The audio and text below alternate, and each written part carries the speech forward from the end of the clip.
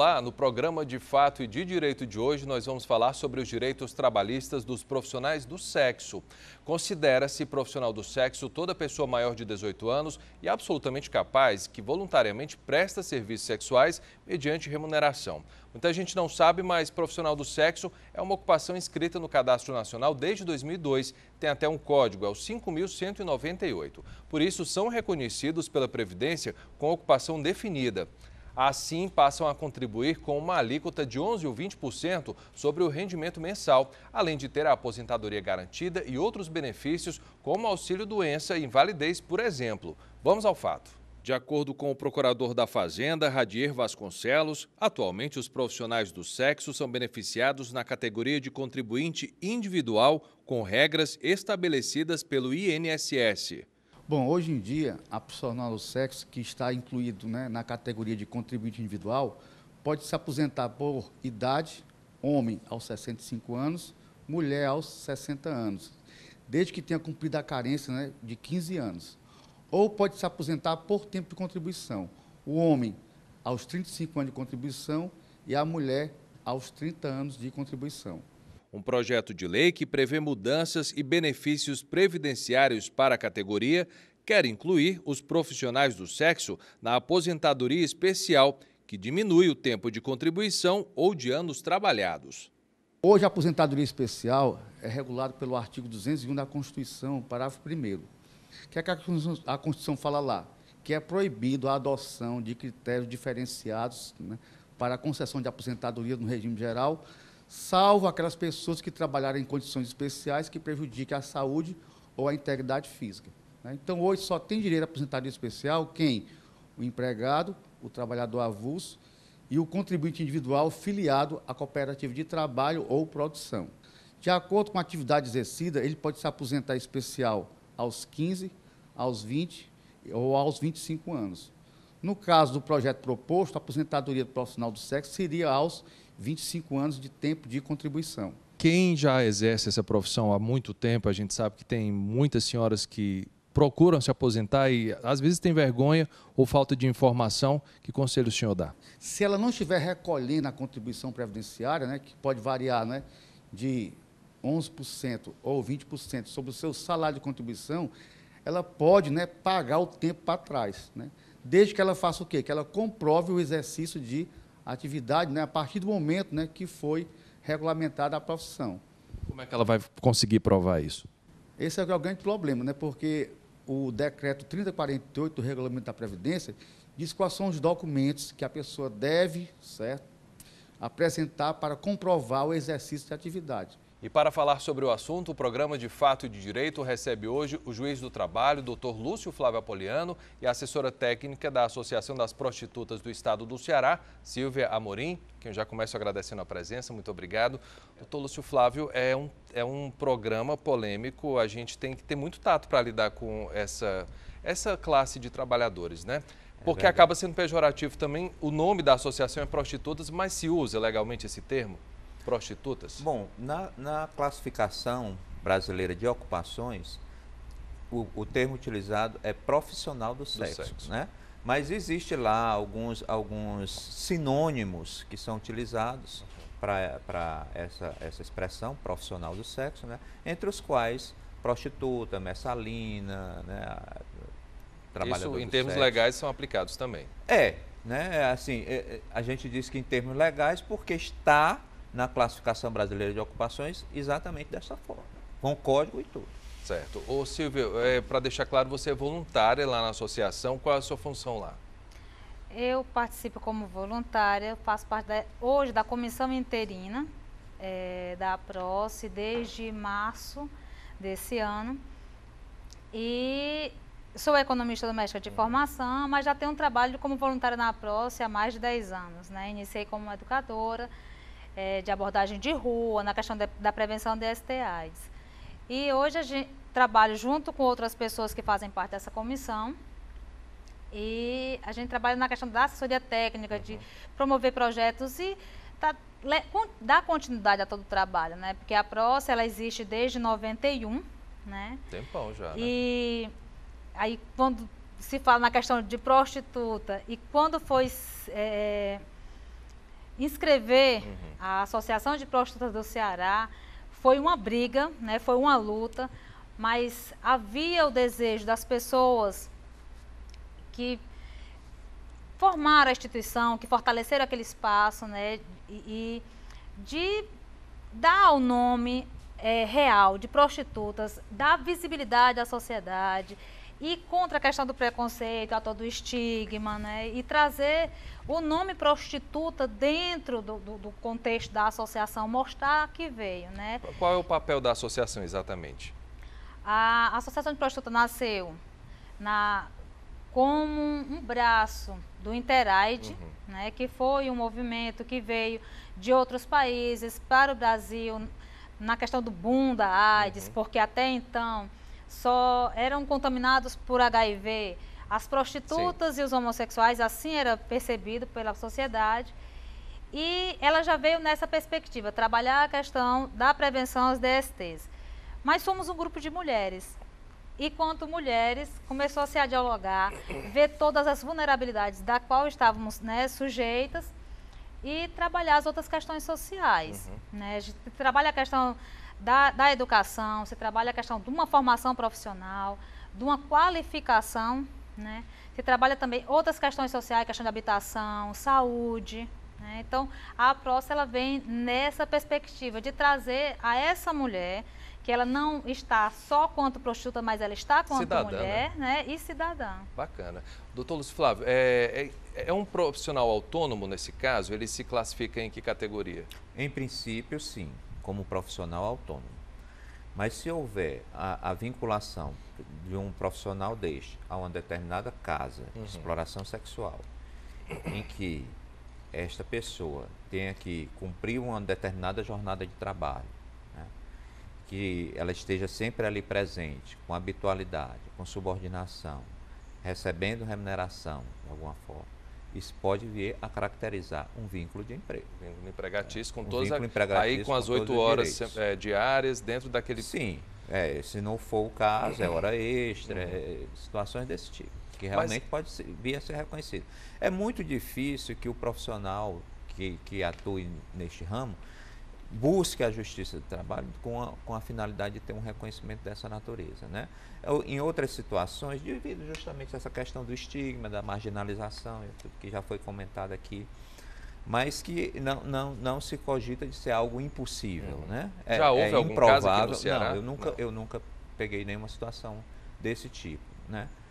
É, mas, enfim, é, em princípio, é um profissional autônomo. E, na verdade, é, é assim, a meu ver, essa seria a melhor, a melhor situação em que o, esse enquadra, profissional né? se enquadraria, né? E, e, que não se sujeitaria, não estaria sujeito a uma questão de exploração por, por terceiros. Ok. Olha, a gente está falando hoje sobre o, o, profissional do sexo, que trabalha com sexo em todo o país, as leis que garantem os direitos trabalhistas desse profissional. E eu vou por um rápido intervalo, a gente volta daqui a pouco com o programa de Fato e de Direito, seu canal de formação sobre a Justiça do Trabalho. Até já.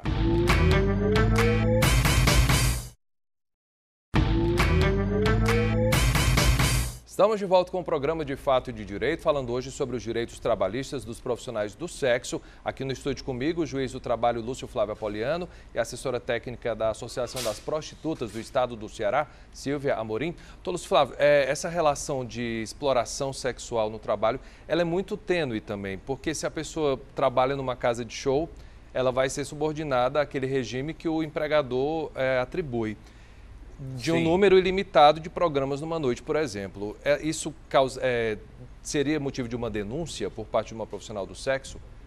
É, é complicado. É, é complicado. Eu não sei quanto à questão de número de programas, mas talvez quanto a uma, uma questão de jornada. De trabalho. De jornada Porque de geralmente trabalho. a gente que entende entrar, que seria à noite. É, você tem que estar aqui no horário de tanto a tanto. Não, mas pode ser também durante, durante o, dia. o dia. Pode ser, pode acontecer. Né? É, é, é, essas situações aí ninguém vai, vai uhum. fixar dessa forma. Se entende que talvez seja mais à noite, aconteça mais à noite. Mas pode também acontecer durante o dia. Então, essa questão de fixação de jornada, quer dizer que tá, se está determinando de alguma forma que aquele profissional uhum. não está agindo autonomamente como autônomo, né? está impondo é, obrigações trabalhistas, né, aquela pessoa, então isso aí pode vir a configurar o, o, o vínculo de emprego, né? independentemente da questão da, digamos, da clandestinidade da, da, da, da profissão ou da, da, ilicitude, que não, não tem ilícito, tanto é que é reconhecida pela classificação brasileira de ocupações. Né? Por exemplo do que acontecia com o jogo do bicho. Uhum. Né? É, essas, essas condutas elas passam a ser socialmente adequadas, né? em, algumas situações, em algum, é, é, eu acho que esse é o objetivo da lei, desvincular a questão da prostituição da questão da exploração sexual. Uhum. Né? A exploração sexual, a, a, a, a, prostituição como atividade profissional e a exploração sexual como atividade ilícita. É proibido, né? então? É proibida. A exploração sexual, sim. E quando né? é que configura a exploração, especificamente? Pelo projeto de lei... É Esse do, do, deputado Jean Williams, que está em tramitação? Jean Williams, tá. né? ele, ele, traz algumas situações em que se, e, estaria caracterizada a questão da exploração sexual. Uma delas seria forçar a pessoa a praticar a prostituição. Por débito, enfim, alguma Sim, dívida? É, alguma situação, alguma, alguma coação é, é, psicológica, de qualquer natureza, que force a pessoa a uhum. praticar isso naturalmente isso se agrava muito quando a, a, pessoa tem menos de 18 anos de Sim, idade. Aí é crime mesmo, aí né? é, é. Tipificado. Né? Tipificado e punido de forma mais agravada. Uhum. Né? Se a pessoa tem mais de 18 anos e ela é forçada a praticar, também é crime. Está tá sendo forçada. Né? Então, outra, digamos, é, outra situação em que o empresário, né, o, o dono da casa de exploração sexual se apropria de mais de 50% do valor do, do serviço. Valor. Né? E outra situação que é numerada como de exploração sexual, quando o, o contratante, né, a pessoa que vai se beneficiar dos serviços é, do profissional uhum. do sexo, não efetua o pagamento correspondente. Né? E, é, é, um, um outro objetivo da lei seria justamente essa pessoa que ter a possibilidade de reivindicar judicialmente, perante o Poder Judiciário, o pagamento pelo serviço executado. Mas isso é, gera um constrangimento, acredito, do próprio trabalhador, sim, né? Sim, o que não era para acontecer porque é um direito. Exercer o trabalho. É, exercer o trabalho, né? É, prestou o serviço. É, seria um serviço como outro qualquer, né? Um serviço de limpeza, um serviço de, sei lá, né? Um, uma execução de um móvel, uma uhum. coisa desse tipo. É uma prestação de é, serviço, prestação né? De, serviço. de forma geral, eu noto que a imprensa tenta ter muito tato para lidar com esse assunto. A justiça está preparada, na sua opinião, para lidar com essas causas, a justiça do trabalho especificamente? Olha, é, é a tal situação, a gente tem que estar preparado para uhum. tudo. Né? No nosso caso, na nossa situação da, da Justiça do Trabalho, a gente pega uma diversidade de casos muito grandes é, e a gente não, não, não tem essa situação especificamente, uhum. mas em algumas situações, por exemplo, a gente tem alguns profissionais que a gente nota, percebe que eles são claramente homossexuais, ou porque exercem algumas funções tipo cabeleireiro uhum. e tudo. Então, a gente procura sempre ter muito respeito por essa pessoa, né, que busca o poder judiciário, que se expõe, né, que vai ali buscar o amparo da justiça.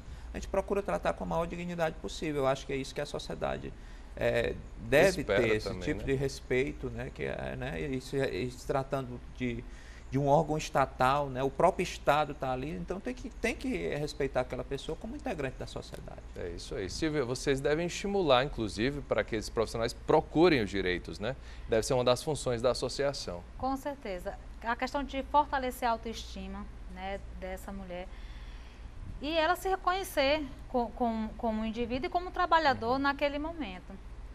É, quando se fala em buscar né, o direito e buscar a justiça, então, quando uma mulher, uma, uma prostituta, ela vem buscar né, esse, esse direito, ela já está uma pessoa bem empoderada, uhum. até mesmo porque ela está lidando com uma sequência de discriminação, de preconceito, daí ela está passando sobre tudo até chegar a buscar o seu direito na justiça, né? Porque é, mesmo com, com a permanência da, da, da, ou a existência da prostituição se dá porque existe clientes, uhum. né? Porque se não existisse é, cliente, é não existiria a demanda da oferta e da procura. A né? sociedade né? busca. É, a sociedade busca, né? Há o fetiche todo de uhum. ter que ser bem escondido, bem velado. Então, isso faz com que fortaleça mais ainda a permanência dessa atividade. E quando essa mulher vem exigir do seu direito de receber o, o, o que foi negociado, né? Aí fica se imaginando de que forma essa mulher vai chegar, porque em a grande maioria dos casos eu preciso ter testemunhas uhum. que presenciaram, então quem vai testemunhar, né? Então, às vezes, nós, quanto associação, é, a gente vem buscando fortalecer, a gente busca fortalecer essa prática de cidadania dentro do próprio movimento, dentro, nesse contexto com todas as mulheres, mas a gente se esbarra muito com esses grandes desafios. A polícia né? é parceira nessas horas, ô Silvia? De, de problema, no fim do, do, de um programa que o, o rapaz não quis pagar, enfim, a polícia. Eu acho que é a única instituição que vocês podem recorrer, elas podem recorrer na hora, né?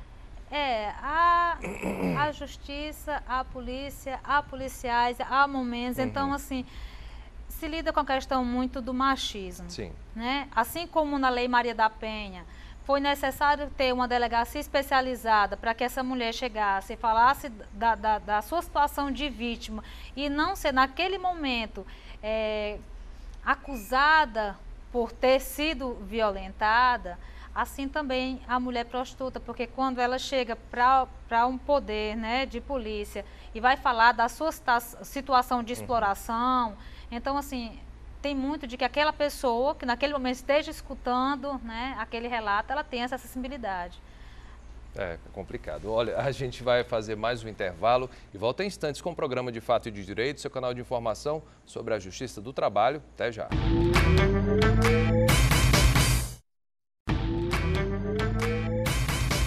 Estamos de volta com o programa de Fato e de Direito, falando hoje sobre os direitos trabalhistas dos profissionais do sexo. A gente, eu estou aqui na mão, inclusive, com o projeto de lei do deputado Jean Williams, que é uma revolução de uma legislação que parece meio atrasada para os profissionais do sexo especificamente, né, o doutor Lúcio Flávio?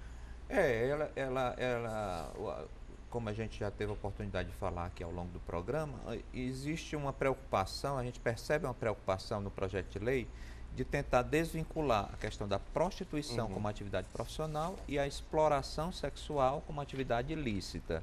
Né? É, atualmente, pela leitura do Código Penal, pode-se chegar à interpretação de que tanto a prostituição como a exploração sexual seriam atividades ilícitas, uhum. seriam, poderia haver alguma equiparação entre elas. Né? Mas o projeto eu acho, eu acho assim, é até um pouco tímido, sabe? E com algumas atecnias, sabe? Assim, dentro da leitura do projeto, eu acho que ele poderia ser melhorado, deve ser melhorado, acredito até. Está em tá que pé isso é, na Justiça? Tá em, não, ele está tá em, tramitação, tramitação no Congresso, né? Está em tramitação no Congresso Encontrando Nacional. Encontrando uma série de barreiras, no mínimo, né? Certamente, porque alguns setores da sociedade também é, é, é, se opõem de alguma forma né, à evolução disso aí, à, à aprovação até, talvez, né, dessa, dessa questão. Mas eu acho que já, já, já são alguns passos que são dados, né, no sentido de oferecer eu acho que a principal preocupação deve ser de oferecer dignidade uhum. a essas pessoas. É o mínimo, né? né? A, a, profissão de, de prostitu a prostituição, ela é legalmente é, considerada na justiça? Ela é regulamentada? Bom, não é que ela seja regulamentada, né? Aí seria um, um princípio de regulamentação certo. por meio desse projeto de lei. Mas ela, é, ela existe, é, é, a, a, existência dela é reconhecida porque ela faz parte, como a gente já falou aqui no programa, da classificação. Ela eu, eu abri falando que em 2002 foi reconhecida, né? É, que tem até uma numeração. E é Isso. é como prostituição. É esse termo utilizado. Trabalhador do, do sexo. sexo. Ah, tá Trabalhador certo. do sexo. Esse projeto, Silvio, do deputado Jean Williams, é, um, é uma conquista para a categoria, na sua opinião? A gente ainda vem é, discutindo muito. Vocês participaram de alguma forma no Brasil? Do, do Ceará não, teve participação nós não no projeto? Fomos, não, assim, é, o movimento a nível nacional, né, é, houve um, um, um, diálogo, uma discussão em maio, uhum. né, em que se pautou também a questão da lei. Mas ainda não há é, reconhecimento de ganhos em cima da lei, uma vez que por, em diversos momentos ela vai fortalecer né, a questão das casas, vai legalizar as casas de, de prostituição e não vai dar amparo de fato a essa mulher, porque só é considerado exploração, segundo a lei, se o dono do estabelecimento ficar com 50%, com 50 ou mais do valor. Mais, né? Então, a mulher negocia lá o programa e 49,9% vai ficar com o dono do estabelecimento. E esses outros, é, é, 50,1% é onde ela vai tirar o valor a contribuir de INSS e outros impostos, aonde e qual é o ganho de, dessa mulher, né? E se essa jornada de trabalho ultrapassa as 8 horas? Como é que, como é que não, não diz claro de quem vai fiscalizar? Né? De que forma é, é, e, e, o adicional noturno? Vai ter adicional noturno? É, qual é a jornada considerada? Entraria em insalubridade ou periculosidade nesse insalubridade, caso? Insalubridade. A gente questiona muito sobre né? isso. Insalubridade Acho e periculosidade. Sim, porque... A gente pode até é, acreditar que sim, poderia ser enquadrado. É um trabalho noturno forma. em alguns não, casos. Não, não, é, não é nem por isso, hum. é pela própria exposição. Sim, é. A né? violência, né? que é muito comum, infelizmente. Não só a violência, como a própria As doenças, a, a sexualmente, doenças transmissíveis. sexualmente transmissíveis. Né? A exposição é. a agentes é, biológicos que uhum. podem causar prejuízos inestimáveis, né? prejuízos importantes e até irreversíveis. Né, em algumas situações. Para ela ter, por exemplo, a prostituta acesso ao INSS para uma, uma licença de, por saúde? É, teria que contribuir, né? Teria ela que contribuir, né? De alguma Já forma. existiu algum caso, Silvia, assim, de, de ser necessário e o que foi, que tipo de doença? Às vezes que, que a instituição, de alguma forma, teve que fazer, junto com essa mulher, esse encaminhamento, uhum. né? É, não se tem nenhuma mulher hoje na instituição que contribua como profissional do sexo. Né? Até mesmo porque aí volta-se a questão do estigma, a cultura, a marginalização. Não, ela não vai se cadastrar como profissional do sexo. Ela se, pode se cadastrar com outra profissão. Né? Mas, Mas tem que acabar com isso também, né, doutor Lúcio Um dos objetivos do projeto, projeto é, esse, é, esse, Né? Um dos objetivos é esse. É de oferecer tratamento digno a essas pessoas. Uhum. Né? De chegar e dizer é, é, que pratica esse tipo de atividade e não ser tão estigmatizado assim. Né? Outra vantagem também é com relação à questão da, da aposentadoria, né? uhum. né? que é mais, é, o projeto traz uma aposentadoria mais precoce. Que né? elas não têm. Não. Não tem mais condições de trabalhar e vai viver de quê? Assim? É. A mercê de alguma coisa. É, outras, outras, outras vias, oportunidades. Outras, e sabendo do passado, meios. claro que muita gente não vai dar a menor oportunidade.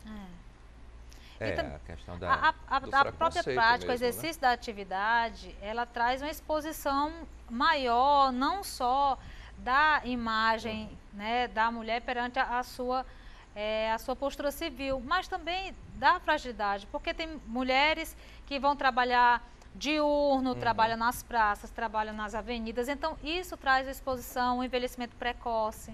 Né? Algumas têm a questão do. passa a ter a questão do uso do álcool. Isso também vai trazendo prejuízos. É. Né? Irreversíveis. Álcool, drogas né? irreversíveis. Né? E assim também a questão psicológica, mesmo a questão que psicológica. assim, às vezes se associa muito a prática da prostituição àquela coisa prazerosa, né? Aquela atividade, aquela vida prazerosa, é, a vida de muito prazer e, e, que muitas vezes não é, essa não é a realidade, né? É, a, gente, é, a gente procura trabalhar assim, muito mais, leva-se é, muito em consideração o, o que antecede até mesmo a questão uhum. da, da, da, inserção na, na atividade. O que é né? é que leva, geralmente, essas mulheres? Não, é falta de não, oportunidade? Não, não tem uma, uma, uma especificidade, regra, né? não tem um perfil que vai dizer, ah, essa mulher, por causa disso, especificamente, ela vai para a atividade. Muitas querem sair, Silvia? Tem esse desejo de ter uma profissão normal, desculpa o termo, mas elas falam sobre isso? O desejo perpassa, porque aí se fala de uma. É, se vive num, num, num, país capitalista, uma sociedade capitalista, se fala da questão financeira.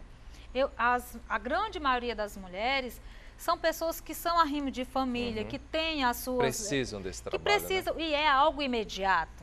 Não é, não é um trabalho que eu vou ter que passar um mês para receber, receber aquele valor, mas eu tenho algo de imediato. Então, se trabalha muito nessa perspectiva de buscar de que forma, se essa mulher deseja, nesse momento, sair da, da, da atividade, que ela tenha outras, é, é, outros meios, uhum. outra oportunidade, mas se ela permanecer também, que ela também tenha assegurado os direitos. É o mínimo direitos. que a gente espera. Uhum. Fala-se vida fácil, de fácil não deve ter absolutamente nada. nada. Vou nada. ter que encerrar o programa. Muito obrigado pela presença, todos ah, Flávio, muito obrigado mais uma vez. Esperamos que essas informações tenham ajudado você a saber mais sobre os direitos que você, empregado, possui.